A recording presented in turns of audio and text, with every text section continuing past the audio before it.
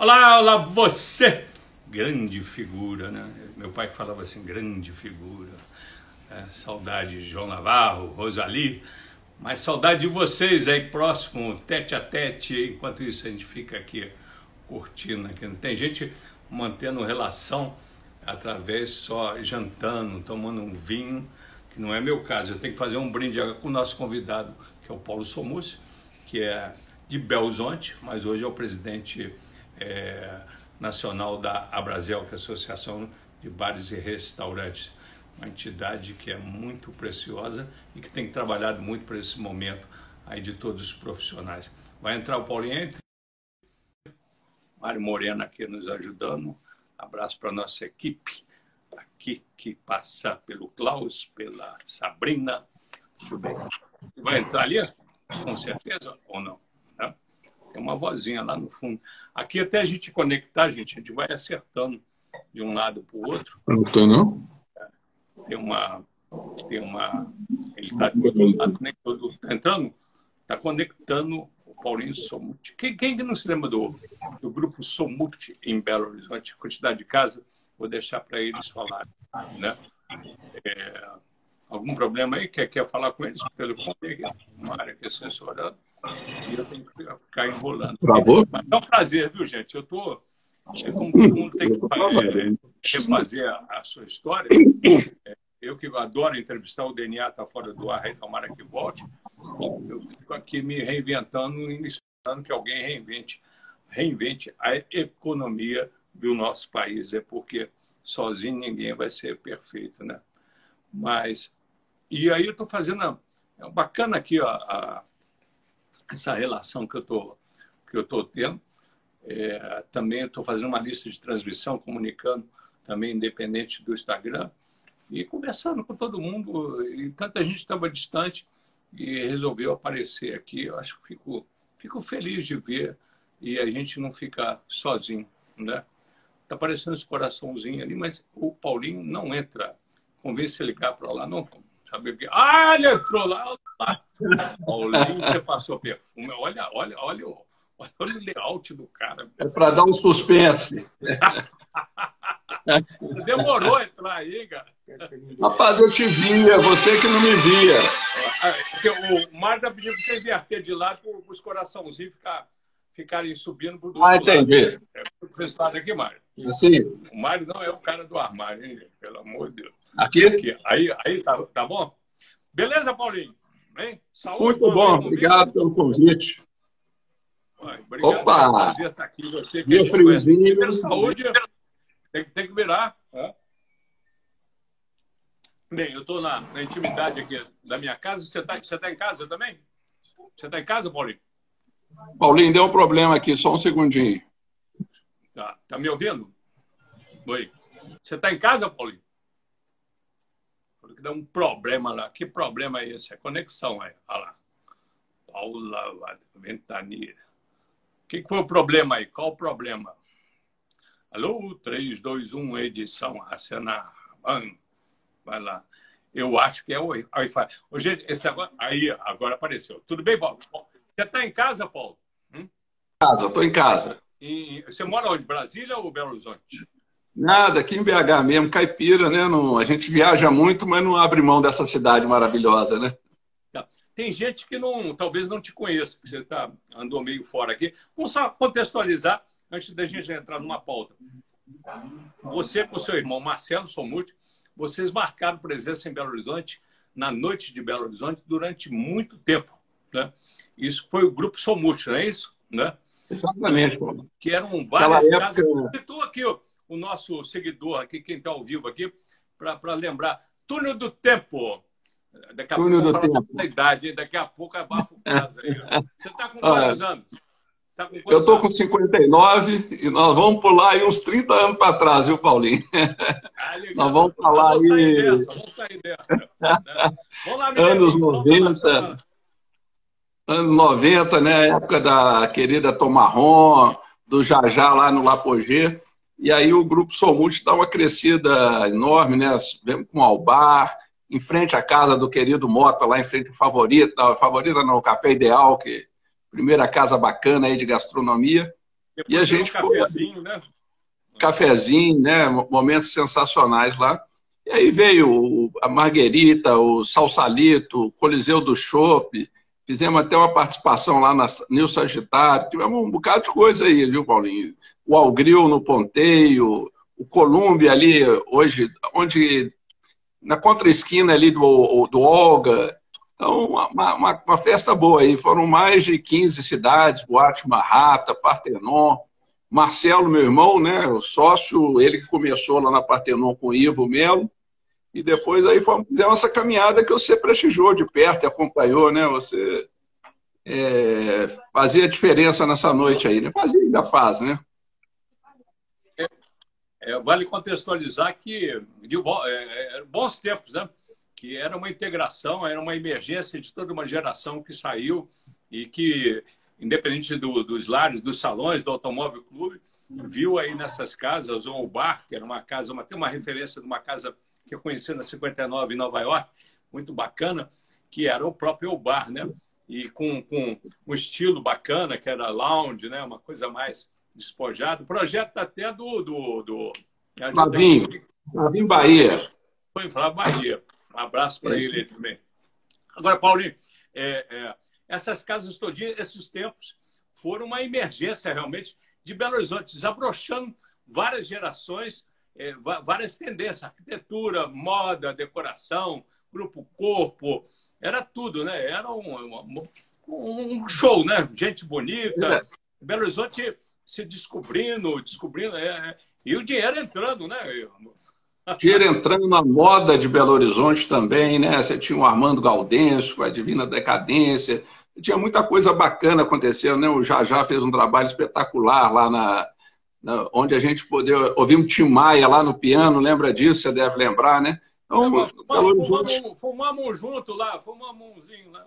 Um charutinho, né, Paulinho? Um charuto. Deixando claro aqui, um charuto. Uma época muito boa, né? Belo Horizonte sai de, um, de uma cidade meio acanhada e, de repente, ela floresce com muitas oportunidades, né? A gente trouxe muita coisa nova, né? O Marguerita também, por exemplo, foi uma casa primeira a trazer o, comida mexicana para Belo Horizonte. Então, você tem uma coisa, o chopp, né? O chopp servido na mesa, que hoje já não chama atenção, mas naquela época, com primeira chopeira de mangueira na, na própria mesa. Uma, uma coisa a gente agitou muito a cidade e o que você falou, tinha um charme, né? Sair à noite era algo meio mágico. Hoje talvez um pouquinho menos, mas aquela época, hoje, na verdade, a gente nem sai mais, né? Que a gente está quietinho em casa. Mas há um charme enorme.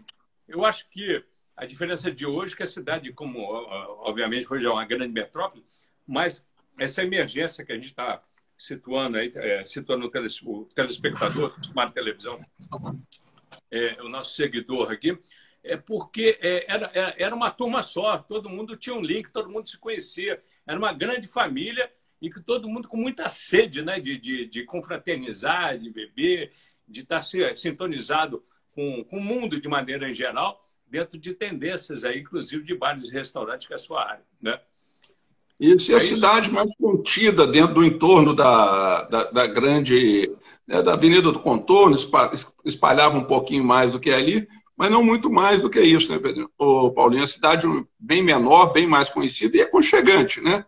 É, inclusive, naquela época, o colonismo social era que ditava a regra, né? Você era um ícone desse momento, e era, ainda é, mas naquela, nós não tínhamos essa diversidade de mídia, de canais de comunicação. Então, vocês faziam um papel de informar a cidade, manter a cidade unida. Isso, o jovem, a turma de hoje, perde um pouco dessa. Embora a gente tenha aí o papel de vocês tão importante, mas naquela época vocês comandavam, né? Ajudavam a cidade a entender o que estava acontecendo no seu entorno era muito bacana, né? É, era um novo olhar da cidade e um novo olhar também para a noite. Paulinho, você, você hoje é casado, né? Com, com, com a Raquel? Né? Casado né? com a Raquel, ah, pai de Rodrigo e Marina. Pois é, a vida bela, a vida que passa aí.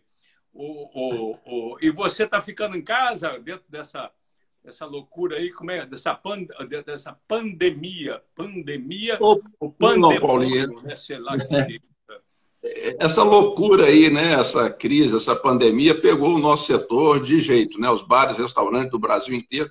E nós, do time da Brasil, a Brasil Nacional é aqui em BH, né? Nós temos esse privilégio, acho que. Vamos das poucas... quem não sabe o que é a Brasil, Isso, a Brasil é a Associação Brasileira de Bares e Restaurantes, que eu presido, né? Nós temos as unidades em todos os estados, mas a, a administração central da Brasil é aqui em BH, ali do lado do Minas 2, e a gente está trabalhando, nosso time está lá de, todos os dias correndo atrás para ajudar esse setor que está fortemente atingido pela crise e que tem uma caminhada ainda mais sofrida ainda, que a retomada parece que vai ser lenta, então nós estamos trabalhando muito para tentar ajudar aí a turma a superar esse momento, né? Tá. É, voltando uma pergunta para a gente entrar nessa questão aqui, você tem ficado dentro de casa? Como é que tem sido esse o seu, a sua quarentena? Não, não, eu, eu não saio todo dia. Quarentena? Não, no nosso caso não está dando, não. Gente, eu estou saindo todos os dias, vou para o escritório, fico até às sete. Hoje saio um pouquinho mais cedo para falar contigo aqui, mas nosso time está trabalhando até oito horas da noite para, como eu te disse, né, buscar soluções, apoiar todo mundo que empreende no setor. Então, estamos trabalhando duro. Agora, tem uma vantagem, né? Chega em casa, tem a chefe Raquel aqui sempre fazendo coisas gostosas, então a, a vida não está do jeito que a gente gosta tomando uma no, no boteco, mas também não está faltando a alegria e a boa comida. Da convivência. Ó, aqui, Setuano, é, o, setor, o setor de bares e restaurantes é o que mais emprega é, no país, não é isso? Ou pelo menos empregava, né? Ainda é, né? São seis Nós tínhamos em março 6 milhões de pessoas trabalhando no setor, maior empregador. Já perdemos um milhão aí com essa crise, né? Um mês e. Vamos, vamos inteirar agora dois meses fechado praticamente em todo o Brasil, né? Então, é uma situação muito triste, muito dura, né? Com muito desemprego, mas ainda mais sofrida ainda para o empresário, né? Que além de ter que arcar com o salário, está tendo que arcar com a, lutar loucamente pela sobrevivência né, do, da empresa, é aluguel, é luz, é imposto, é muita coisa aí, isso tudo chegando sem o faturamento, né, Paulinho? Agora, vocês da Brasil, sobretudo dado o seu prestígio, é, você não titubeou em, em correr atrás e interagir, com, sobretudo com o governo federal. Você teve com o Bolsonaro, com o presidente, teve também o nosso ministro da Economia, Paulo Guedes, e, e, e de lá saiu o quê? Saiu uma, uma, a, a, M, a, MP, a medida provisória 936, não é isso? Né? Vamos situar é isso aí. Aqui. É, a Brasil antecipou né, a crise no, que ela, nós já estávamos acompanhando bem de perto o que estava acontecendo lá fora, e já em meados de março, dez dias antes aí, mais ou menos, de começar os fechamentos de comércio, nós buscamos o governo para alertá-los que isso viria, né? Estive lá com o presidente Bolsonaro no dia 16, falei assim, presidente, vamos viver um colapso, a situação é muito grave. E ele falou assim, então vamos conversar com o Paulo Guedes. Me pôs no carro, nós fomos direto para o gabinete do ministro, e naquele momento ainda havia um diagnóstico que teria no máximo uma queda de venda, mas não se imaginava que fosse fechar. E nós falamos assim, não, vai fechar, fechou no mundo inteiro, vai fechar aqui, nós precisamos estar preparados para isso. A Brasil fez, inclusive, um anúncio nos principais jornais do Brasil, a gente chamou de. É, dois dias depois, do dia 18 é, de março, falou assim: olha, alerta de colapso. A gente avisando a sociedade brasileira que ia haver um, uma crise muito forte, que as pequenas empresas precisariam de ajuda para pagar, especialmente salário. E aí o governo foi muito sensível e em 15 dias soltou uma medida provisória que hoje é elogiada no mundo inteiro, que é essa dos salários, que ajudou a é, diminuir o impacto do, da crise, a, amortizar e diminuir o desemprego. Ela protege aí, por passa três pela redução da jornada de trabalho, situa aí quem não está por dentro. É, Diminui a jornada de trabalho e essa, essa medida provisória permite duas coisas. Primeiro, você suspender o contrato de trabalho por dois meses, o governo pagando o empregado, ou você fazer reduções parciais de 25%, de 50% ou até de 70% na jornada, ou seja, você paga a metade ou um quarto do, do valor e o governo complementa isso para o empregado. Isso ajudou a reduzir enormemente o desemprego, senão todo mundo teria que ter encerrado a atividade. Né? E isso é, e essa medida, ela agora como é que ela a sequência dela, como é que se faz para sobreviver esse setor? É uma boa pergunta, né? O, quando a medida provisória foi negociada, a gente conversou, imaginava-se que íamos ficar com uh, os comércios fechados no máximo 30 dias. Agora a gente já viu que do, dois meses, né, 60 dias, está virando o mínimo e não mais. Então a medida provisória precisa ter seu, sua validade estendida. Nós conversamos com o relator essa semana, que chama deputado Orlando Silva, e ele se comprometeu com a Brasil de colocar uma, uma opção lá de prorrogação dessa medida. E eu acho e o governo vai poder avaliar setor a setor como prorrogar. Isso vai ser fundamental para manter o emprego e manter as empresas em capacidade de retornar, né, Paulinho? Ficar dois meses sem faturar é uma coisa inédita e que está é, tirando a capacidade da empresa, de, pelo menos da pequena empresa, de retornar à sua normalidade. Né? Eu Mesmo vou chegar na, nessa retomada, mas eu queria que você dissertasse um pouquinho mais. É, o governo federal teve esse apoio. É, já que nós estamos aqui na nossa Belzonte, né, o município também deu, é, deu suas caras e o Estado também é, marcou presença, está marcando. Há, há, quem diga que, que falta uma, uma decisão mais decisiva do, do, do Estado. É, é vero ou não? Olha, eu, eu te diria que falta, da, inclusive da prefeitura, a gente espera um pouco mais. Né? Na verdade, a crise tem proporções enormes, a prefeitura parcelou, abriu espaço para parcelar os seus impostos, mas o parcelamento de imposto hoje é uma importante, mas com o faturamento lá embaixo também não está se representando uma ajuda muito importante. Nós vamos precisar de apoio, por exemplo, para Vale Transporte, para uma retomada. Agora, o Estado, ele atuou no primeiro momento no parcelamento do ICMS para as empresas que estão dentro do Simples, aquelas que faturam até 4 milhões e 800 por ano. Então, é uma ajuda importante, é o maior número de empresas, mas, infelizmente, não atinge, não, não socorre a todos. Então, temos certeza, o governador Zema tem sido muito sereno, muito transparente. Eu tenho certeza que no momento oportuno ele vai também atentar para, o, o imposto das empresas maiores do nosso setor. Tem uma linha direta com o governador aqui, nesse sentido? Não, na verdade, o que eu, eu tenho um amigo, né, muito querido, que é o secretário de Desenvolvimento, o Cássio, e, e, o governador, ele está muito atento, né? O Paulinho é muito problema para resolver num tempo muito curto, né? E, então, você tem problema de desemprego, você tem problema da receita do Estado caindo, você tem cada setor sendo impactado de uma forma diferente, você tem problema de saúde pública. Então, eu acho que nós estamos, empresários, estamos muito aflitos. Eu acho que as medidas no Brasil, diferentemente do que as pessoas às vezes têm percepção, estão indo mais rápidas do que foram fora do Brasil. Isso, por exemplo, essa medida provisória do salário, além de inédita, ela saiu em 15 dias num ambiente de teto constitucional. Teve que ser tudo aprovado no Congresso. Então, o governador também tem as suas dificuldades aqui de uma pauta muito extensa. Não temos que lembrar que nós mal saímos aí de Brumadinho, com todas as suas consequências. Eu acho que há uma sensibilidade, há uma disposição para o diálogo muito importante com Calil também? O Calil é o mais difícil. Né, o, Paulo, o Calil ele é mais difícil. O Calil tem sido muito autoritário, ao nosso ver, falas muito fortes. Eu acho que faz um trabalho importante na saúde, mas podia ser mais transparente, podia compartilhar mais seus critérios.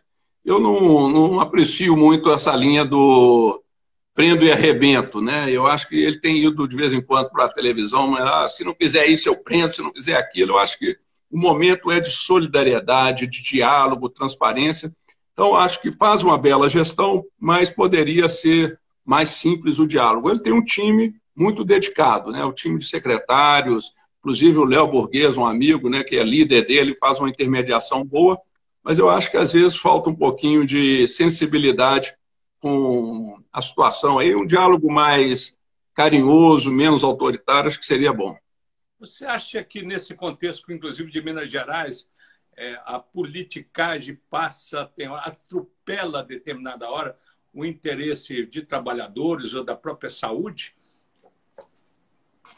Olha, a, a politicagem no Brasil está atrapalhando muito, né? Eu, eu diria do governo federal, mas especialmente eu tenho visto coisas piores, por exemplo, em São Paulo e no Rio. Acho que o governador Dória tem sido um, fazer, feito mais política do que cuidado dos negócios. O Witzel também uma coisa na mesma linha.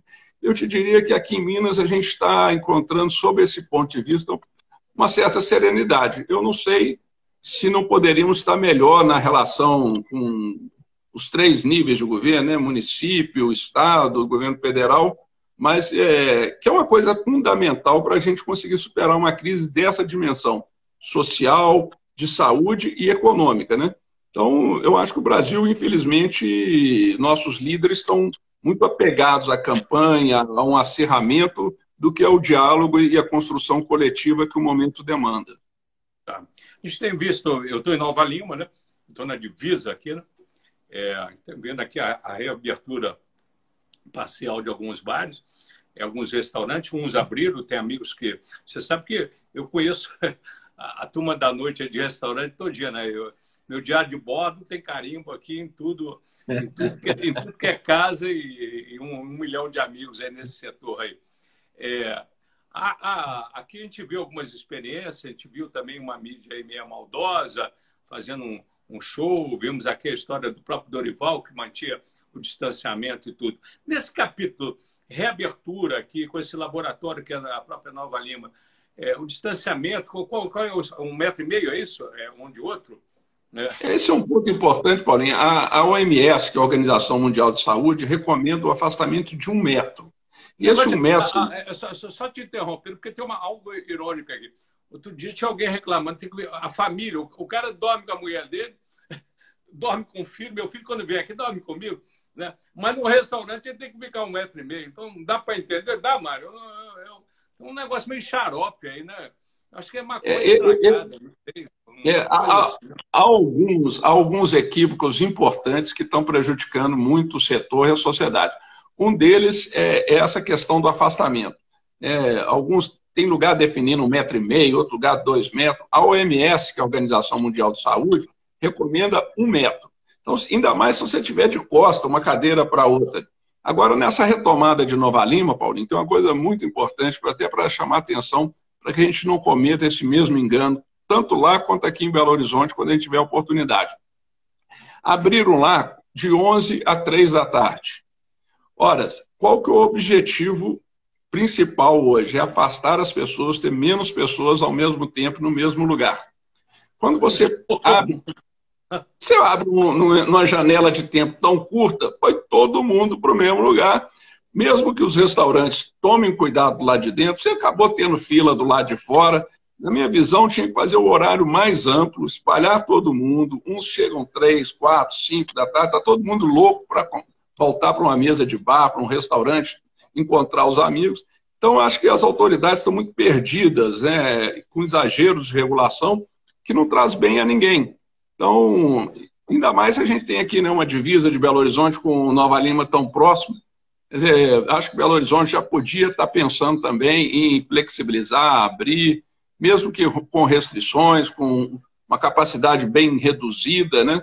Nós temos que usar as nossas calçadas, como o europeu só pôde começar a usar agora, porque lá o clima, o coronavírus vem no inverno muito intenso. Aqui não, nós temos um clima ameno, podemos usar as calçadas para reduzir o problema da, da, da, oferta menor de lugares lado de dentro e também né, proporcionar esse espaçamento importante. Então, falta serenidade, falta uma, um regramento que poderia vir do governo central, os estados poderiam estar, ao invés de brigando, estados e municípios, cobrando essa regra para o país inteiro. Então, é, é, se não houver esse diálogo, se não houver essa harmonia entre os nossos governantes, quem vai pagar a conta é o trabalhador, o empresário, especialmente o pequeno empresário, e, de uma maneira muito especial, do turismo. Né? A hotelaria está sofrendo muito, bares e restaurantes, eventos. Precisamos de serenidade e cooperação dessa turma aí. Você acha que o, essa reabertura passa por proibição ou não de bebida alcoólica? Paulinho, não vejo o sentido da proibição de bebidas, não. Acho que É, a única coisa que você, um comentário que existe sobre bebidas foi feito na OMS, mas não com relação a bares e restaurantes. Foi feito sobre agressão dentro de casa, porque a bebida, as pessoas podem estar bebendo mais, aumentou a agressão à mulher. A questão no bar e no restaurante, no mundo inteiro, não, foi uma, não houve uma razão para restrição disso. O que nós temos é que espaçar no tempo. Porque você coloca todo mundo ali, aí fica, ah, não, a culpa é da bebida. Não, a culpa não é a bebida. É a vontade que nós somos de voltar a socializar. Eu, eu até brinco que eu acho que eu estou bebendo mais agora isolado dentro de casa, porque não tem mais nada para fazer do que bebia num bairro, num restaurante. Mais uma saúde, mais uma saúde aqui, ó. Mais, mais, mais um para molhar a goela aqui, pera. Salve, Mário. O, o, o Paulo, há quem diga, colegas aí que eu converso, que essa reabertura é, com esse horário restrito e tudo, é, é, ela, ela é muito relativa. Primeiro que a gestão do processo, é, ele não se paga, auto se paga. Primeiro que você tem a geladeira é, continua funcionando, a luz, o ar-condicionado, tudo, tudo você tem que funcionar para manter ali é, é, a carne fresca, etc., né? a bebida, tudo. Então, se você abriu dentro disso. E aí um colega aí pergunta o seguinte, também, se é um terço também da, do, do, do tempo, do afastamento, é, esse contexto todinho, né? como, é, como é que vai ser aqui? É, é, é vai se pagar o, o, o, o, funcionário também o proporcional a esse tempo de abertura, essa concessão de abertura? Porque as contas, como é que vão ser? Os impostos também vão ser é, é, proporcionais ao tempo de abertura. Você imagina quem perguntou isso aí, abafa o caso. Não tinha Bom, eu, eu, eu imagino e me solidarizo. Eu imagino e me solidarizo com quem fez a pergunta. E eu te diria o seguinte, Paulinho. É, como a crise foi muito rápida, infelizmente a gente não tinha planejado no Brasil. Nós fizemos um planejamento razoável sob o ponto de vista da saúde, acompanhamos lá fora e, obviamente, poderíamos ter feito melhor, mas, do ponto de vista da, do apoio às empresas, ao emprego, nós não fizemos nada. Não seja, não há, num Belo Horizonte, é, o Estado, ninguém, no governo central, ninguém planejou de uma maneira antecipada o apoio a esse setor, ao, ao pequeno empresário e às empresas de um modo geral. Agora, o que está acontecendo de positivo nessa área, por exemplo? É, nós temos um, uma questão que precisa ser resolvida, que o Brasil está olhando muito para a pequena empresa, mas a definição de pequena empresa ela é cruel no Brasil. Porque uma pessoa, uma empresa que é considerada dentro do simples, a pequena e microempresa, fatura até 4 milhões e 800 por ano. Se você fatura um real a mais, você sai do simples e deixa de ter os benefícios. Esta semana, o ministro Paulo Guedes aventou de devolver pelo Tesouro um terço, 30% do faturamento médio das empresas para que elas possam continuar se mantendo nos próximos meses. Mas isso só para as empresas do Simples. Então, essa é uma questão que, que é complicada. Você pega um... É claro, você pega um restaurante bacana, como do amigo nosso aqui do Mota, por exemplo, ou mesmo, eu estou tomando um vinhozinho na taça do café, do chalézinho, Paulinho. O nosso amigo. Mas, poxa, bacana, a casa abriu, fui lá e tudo. Isso. Enfim. São dois empresários importantíssimos para a cidade, com negócios maiores do que as do Simples. Mas não, por isso não transforma em grandes negócios. Estão vivendo os mesmos desafios de empresa. Então, o governo tem sabiamente cuidado do pequeno, do simples, mas vai ter que nós vamos ter que dar uma olhada para esse que também é pequeno, mas está fora do simples. Que diferença em termos práticos faz uma empresa que fatura 4.800 para uma que fatura 5 por ano? É, ambas precisam de apoio. Então, é de novo, a questão do estão fazendo a gestão em nome de. São, em, em, em Minas Gerais, você tem um presidente é, local aqui, que é o Rodrigo, não é isso, né? É Ricardo, Ricardo Rodrigues, lá do Maria da Santa. São, quantos, são quantas casas em Belo Horizonte, quantos empregos aqui? Está chegando quase Olha, Belo Horizonte, Belo Horizonte tem mais ou menos 10 mil estabelecimentos, gerando 60 mil empregos no setor. E, e o Estado, você tem na cabeça isso ou não? O é Estado, muito... nós estamos da ordem de. Nós devemos ter 100 mil trabalhadores e alguma coisa de 100 mil, não, 600, Como é que é 10%?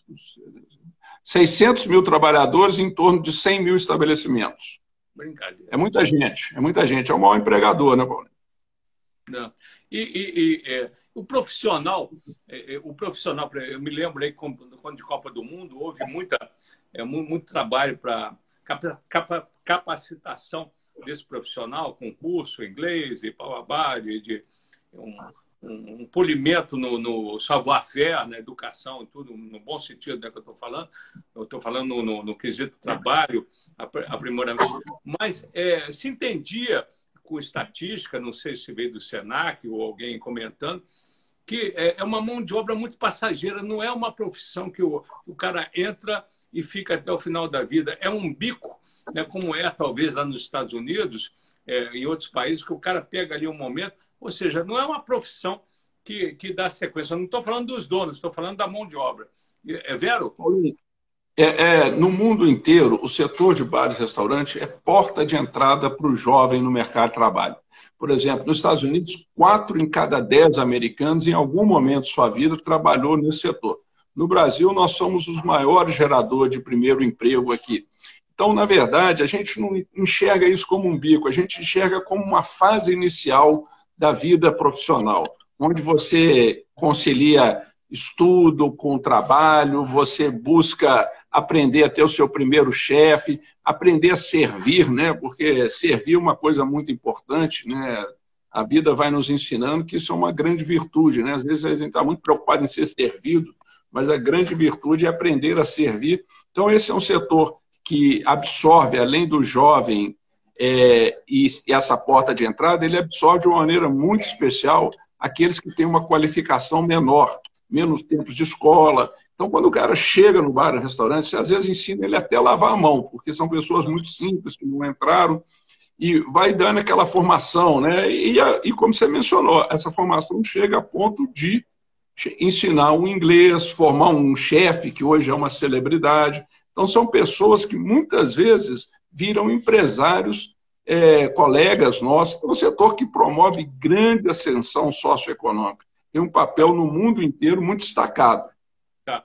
Você diria que Belo Horizonte, é, independente da, da, cultura tradicional, da comida mineira, tudo, ela, ela hoje carimba, independente também da cidade, dos bares e tudo que leva esse rótulo também.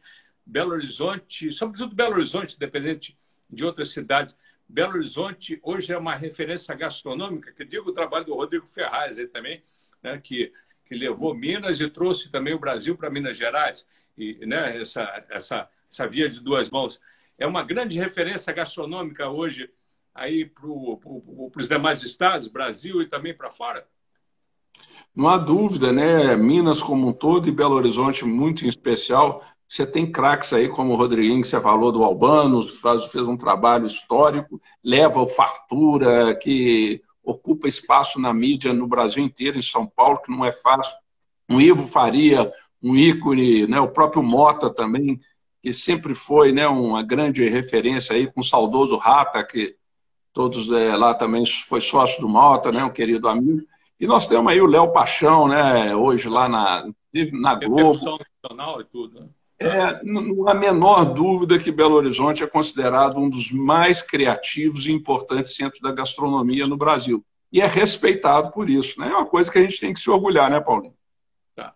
Agora, para a gente terminar aqui, nesse contexto todo que você colocou, que é, fica claro aí também a necessidade do setor e, e quando a gente vê um Bolsonaro com essa bandeira de abertura, que a economia é, é, é, é vida, né? Sobretudo você que teve com ele, teve também com o ministro Paulo Guedes, você, você a, endossa a, a política dele nesse, nesse momento com toda com todo o risco que se tem na outra ponta aí de vidas também é, é, com aproximação, e por aí, com, o que, que você pensa para a gente fechar?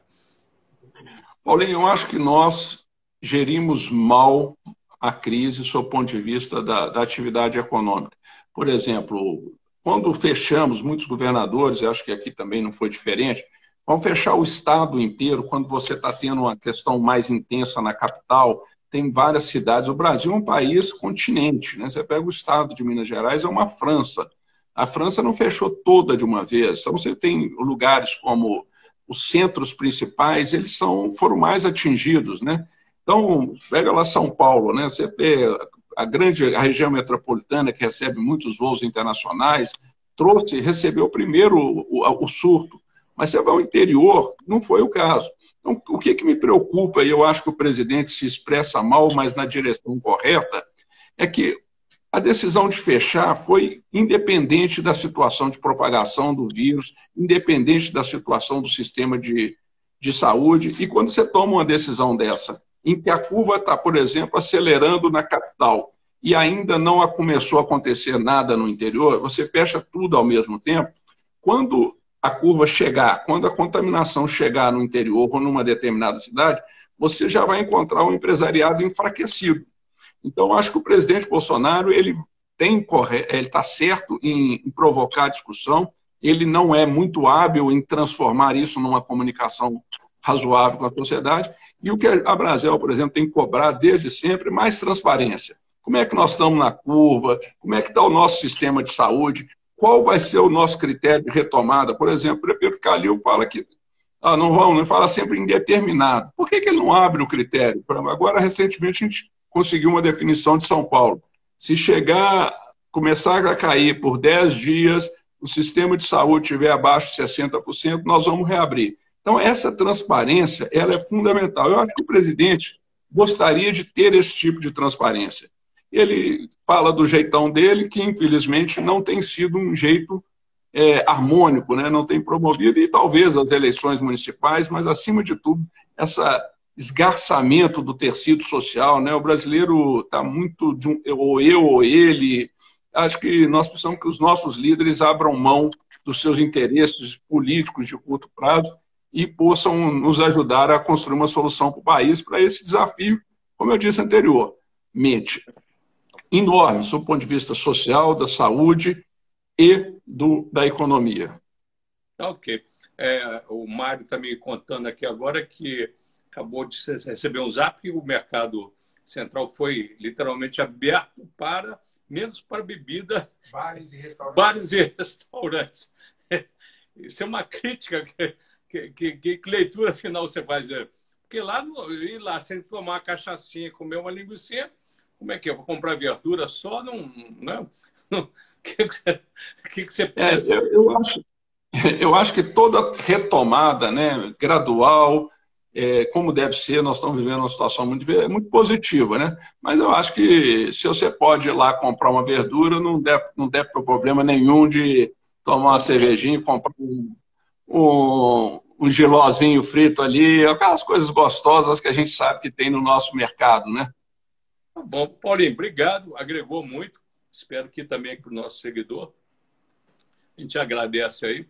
Já convidamos aqui outros colegas, o Máximo aqui, semana que vem. Vamos ver aqui que ele vai, se ele vai falar italiano ou vai falar. Máximo é outra fera, outra fera. Eu pedi para ele vir aqui também, mas ele tem que fazer um curso de português. Ele deve estar nos assistindo. eu, vou é... Muito obrigado. Quer deixar a palavra final aí ou não?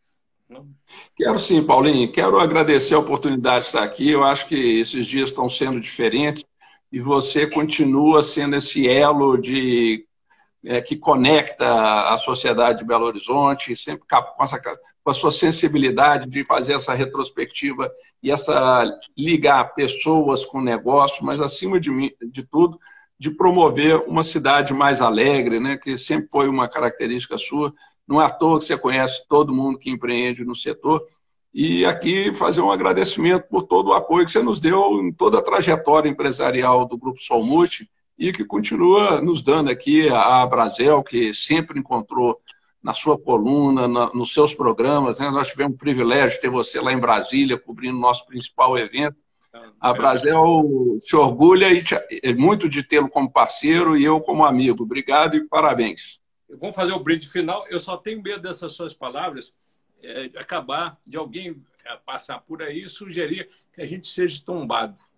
Ainda é então, um beijo. Tchau, tchau. Saúde Cubado tudo aí, bem, galera. mas fechado jamais, viu, homem? Saúde. Abração. Tchau, tchau.